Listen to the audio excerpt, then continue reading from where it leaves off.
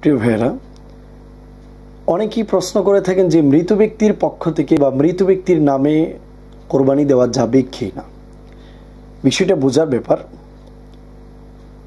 মূলত কোরবানি ওয়াজিব হয়ে হলো জীবিত ব্যক্তিদের উপর। সেই জন্য প্রথমত আগে দেখতে হবে জীবিত ব্যক্তিদের পক্ষ থেকে কোরবানি দেওয়া হচ্ছে কিনা।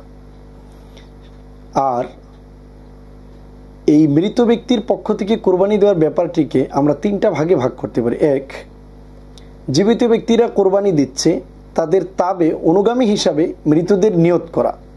যেমন, আমি আমার পক্ষ থেকে কোরবানি দিচ্ছি, আমার বাবা মা মারা গিয়েছে, তাদেরও নিয়ত করলাম। তাহলে তাদের কবরে সবগুলো পৌঁছে যাবে। এটা জায়েজ। এই যেমন রসুল সাল্লাহ আলিয়াল্লাম কোরবানি করার সময় তিনি কোরবানি করেছেন আন আহলে বেইতিহি এবং তার আহলে বাইতের পক্ষ থেকে এবং তার উম্মার পক্ষ থেকে তিনি কোরবানি করেছেন। এটাতে কোনো সমস্যা নেই। এই জাতীয় কোরবানি করা যেতে পারে। দুই নম্বর আইউদহা আনিল আমওয়াত বেমুক্তাদা ওয়াসায়া হুম তানফিদ আল্লাহ কোনো মৃত ব্যক্তি যদি ওসিয়ত করে গিয়ে থাকে কোরবানির জন্য, তাহলে সেই ওসিয়ত পুরা করার জন্য কোরবানি করা, সেটাও জায়েজ।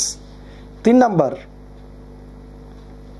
কোরবানি করা মৃত ব্যক্তিদের পক্ষ থেকে তাবার রোহান মুস্তাকিল্লিন আনিল আহিয়া যে একদম পরিপূর্ণভাবে একজন জীবিত ব্যক্তির পক্ষ থেকে যেমন একটা কোরবানি দেওয়া হয়, মৃত ব্যক্তির পক্ষ থেকে ওই ব্যক্তির নামে কোরবানি দেওয়া। এটা করা যাবে কিনা? বেআইয়াত বা আলিয়া বিহি উদহাইয়াতান মুস্তাকিল্লাতান। যেমন আমার কোনো বাবা মারা, আমার বাবা মারা গেল আর আমি আমার বাবার জন্য কোরবানি করলাম।